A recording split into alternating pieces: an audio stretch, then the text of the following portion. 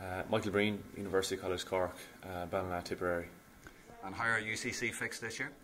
Um, not too bad, yeah. Um, I suppose we've a lot of guys that are involved in county panels, so it's um, it is a challenge to get everyone to training um, because lads are been pulled left, right, and centre. But um, no, we're I suppose we have a good crop of talent, so we'll um, we should be okay.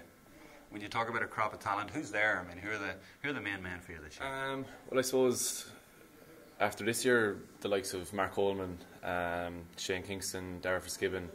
Um, I suppose you have Tom Devine who didn't hurl this year, but you know he's still a savage hurler. Um, Conor Gleeson, you've you know top notch guys that have played in All Ireland semi-finals and finals, like so. Um, yeah, like th- there's no doubt we have the talent, but it's just about nurturing it and getting everyone together.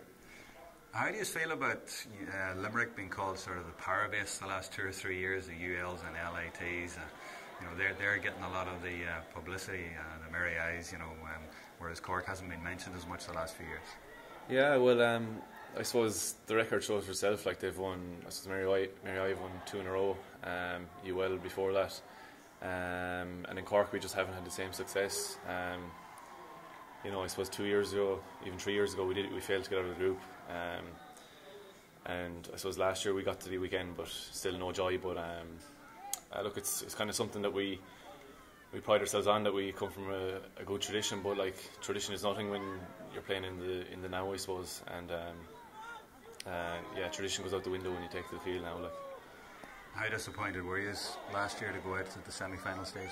Um, absolutely gutted because like we put in so much work.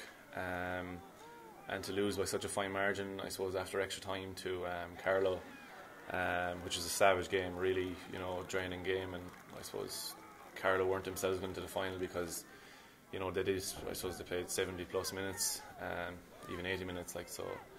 Yeah, it was, you know, it was gutting, but um, I suppose it's something that drives on for this year.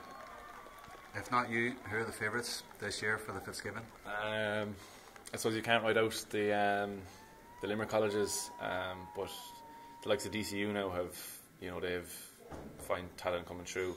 The likes of Paddy Kern, um, even Carlow after winning their fourth league in a row. So, um, to be honest, it's it's an even playing field. Like, um, it's so hard to call, but um, it really comes down to on the day, like kind of thing. So, look, we'll we'll give it our best shot anyway. I'll go on. Pick one for me. Just one from all those. Um, UCC.